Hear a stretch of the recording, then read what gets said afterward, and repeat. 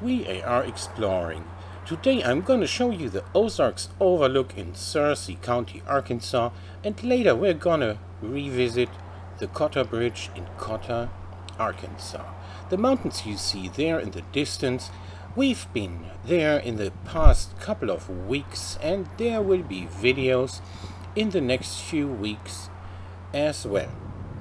We're approaching the Cotter Bridge now in Cotter, Arkansas. This bridge was constructed in 1930 and originally this was a toll bridge. So residents, instead of using the toll bridge, preferred to use the free ferry in the first few months after the bridge construction was completed. This bridge now carries United States Highway 62 business across the White River. And here we see the White River and get a view of the Cotter Bridge. There are some folks having fun in a boat.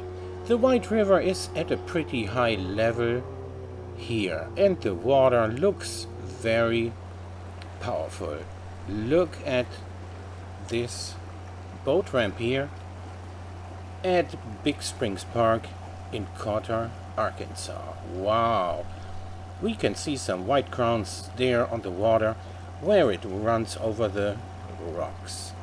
I hope you enjoyed watching this video as much as I enjoyed making it.